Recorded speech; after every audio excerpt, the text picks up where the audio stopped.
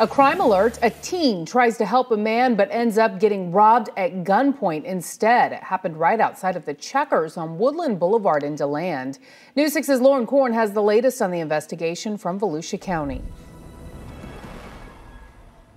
An early breakfast run for a 16 year old boy turns into a frightening ordeal. And what's going on, sir? Someone just got robbed. Luckily, a 24 year old man who saw it all unfold called 911. Do you know him or you're just helping him because No, they was- took his stuff? I just witnessed it, man. Police say it happened in the Checkers parking lot Monday night in downtown DeLand. The teen told authorities he thought a man needed help after flashing his lights near the dumpster in the back lot. But police say within seconds, a total of three men surrounded him. He said one of the guys had a uh, something metal pointed to his head, and another guy had something else in his pocket. He said he saw the barrel of it. Said Authorities say the men forced the teen to his truck where they stole his phone and two gym bags. At that moment, the witness saw what was going on and ran over to help as the three jumped into a gray Chevy Suburban. He asked ask him what was in his bag?